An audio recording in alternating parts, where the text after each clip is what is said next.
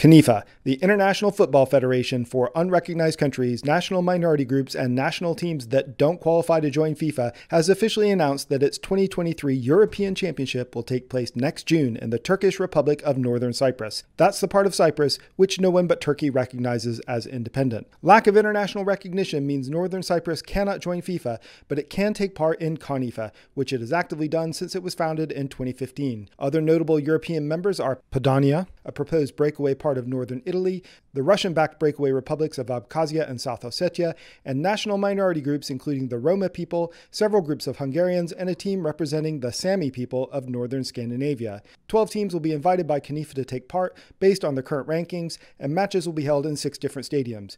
Will South Ossetia return to defend its title from the 2019 Cup? We'll have to wait and see, but if you'd like to see more videos about CONIFA and unrecognized countries, be sure to subscribe to my channel and let me know in the comments.